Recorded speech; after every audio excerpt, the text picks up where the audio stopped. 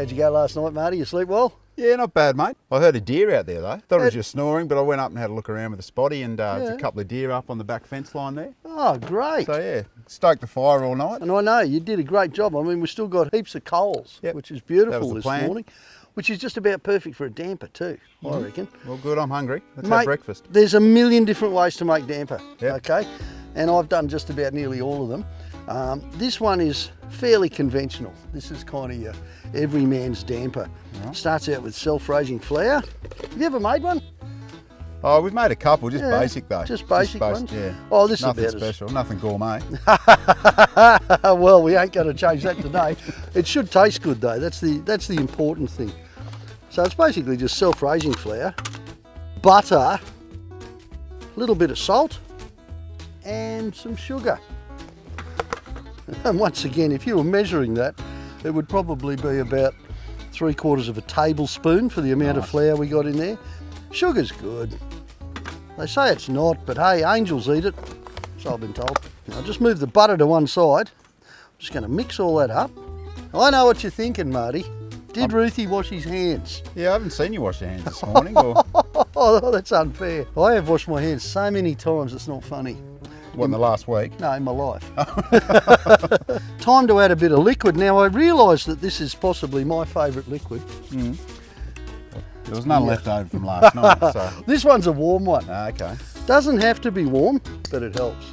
I've seen people use lemonade too. Yeah, lemonade's good. You can use all sorts of things. Um, milk, milk and Okay. water is sort of the traditional way to do it.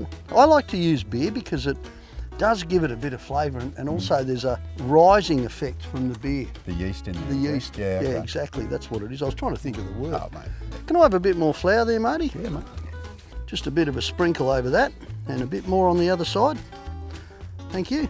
Now that's the whole trick to this, of course. You can adjust it as you go. If you've added a bit too much liquid, which is always hard, you can get it just right. Now see that? See how that's starting to look like a, a lump of dough? Guess what? That's what we want it to look like.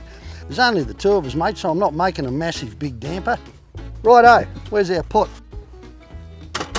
Now, the trick to making a damper that doesn't stick is just to cover the bottom of the pan. And what we're going to do now is uh, just brush. I'd like you to know I didn't use this brush for fiberglassing the truck. Nice. I'm just going to brush a bit of milk on top. That all that does is give it a bit of a brown look on the top. Bit of a glaze. Off we go. All right. Oh, nice coals, Marty. Done great. We're going to whack it in for, oh, I don't know, 20 minutes. We'll have a look at 20 minutes. All right. Well, I suppose it's that uh, time moment of truth, mate.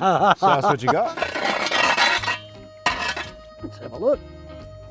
Oh, oh, look at that. Didn't even stick. Nice.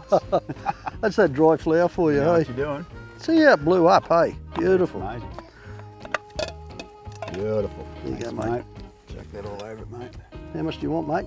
Oh, mate. You big? A bit more, yeah. The bush pancakes, isn't it? Oh, it is. How good is that? So simple. Oh, it's beautiful, actually. Mm. I got one right. Can't believe it. do you mind ringing the handbrake and tell him? he can cook, Damper. First time for everything, mate.